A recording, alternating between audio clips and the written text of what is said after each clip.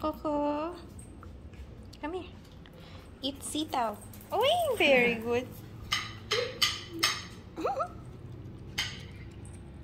Yay, he loves sitaw.